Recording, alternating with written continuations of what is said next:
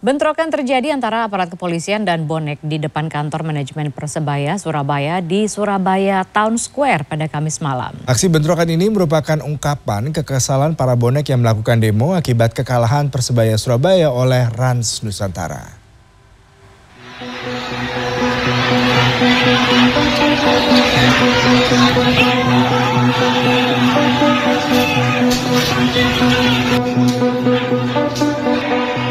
Bentrokan ini bermula dari unjuk rasa ratusan bonek yang kecewa terhadap manajemen Persebaya karena hasil buruk yang didapat Persebaya dalam tiga laga terakhir Liga 1. Demo dilakukan di kantor manajemen Persebaya di Mall Surabaya Town Square, Jalan Hayamuruk, Surabaya, Jawa Timur. Mereka berunjuk rasa setelah Persebaya kalah di kandang sendiri oleh klub Rans Nusantara dengan skor 1-2 pada babak lanjutan Liga 1 yang berlangsung Kamis sore.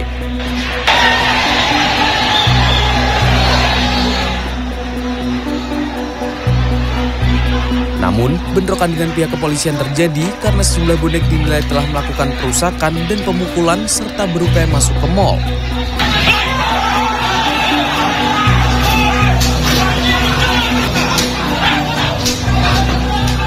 Akibatnya semua supporter yang datang ke lokasi dibubarkan oleh polisi dengan menggunakan gas air mata. Bentrokan pun reda setelah polisi berhasil memukul mundur dan membubarkan para supporter yang berunjuk rasa. Uh, untuk melakukan pembubaran dan saat ini pukul 21.25 sudah bubar bersih dan tidak ada korban uh, daripada masyarakat maupun yang lainnya. Dan saya menghimbau kepada masyarakat supporter bonek khususnya kejadian seperti ini jangan tidak terulang, tidak terulang lagi karena ini sangat menguras energi. Kepala Polrestabes Surabaya juga menegaskan meski terjadi bentrokan tak ada supporter yang ditangkap dalam pembubaran ini.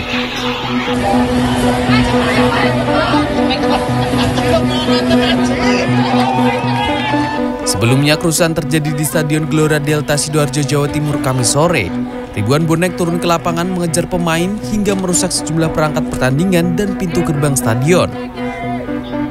Supporter Persebaya mengaku aksinya merupakan bentuk kekecewaan terhadap tim kesayangannya yang mengalami kekalahan tiga kali berturut-turut, yakni saat melawan Bali United, kemudian PSM Makassar, dan saat menjamu Rans Nusantara FC. Romba, romba, romba total pemainnya. Romba total. Manajer utama, manajer. Siapa aja yang harus dirombak menurut Mas? Manajer utama. Manajer lah. Pemain juga lah. Beli pemain yang mahal, masa pemain yang murah?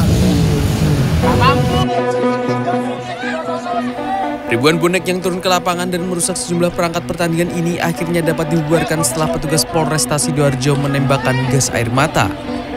Tim Liputan CNN Indonesia